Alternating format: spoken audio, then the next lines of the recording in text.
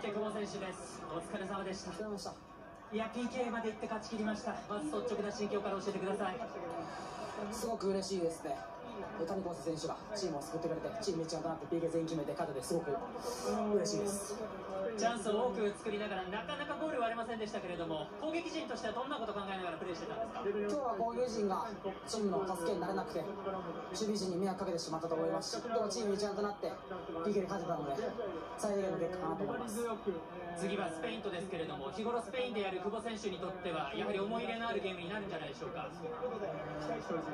もうある程度グループリーグと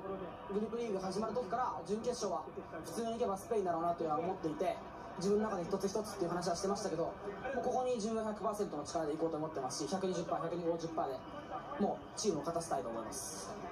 前の試合の後このチームで1日でも長くというふうにおっしゃってましたがこれであと2試合戦いますけれどもそこについてはどうでしょう？どうせ2試合やるなら最後最終日にしっかり決勝の舞台で戦いたいですしそのためにしっかりリラックスして次の試合も全力でぶつかりたいと思います。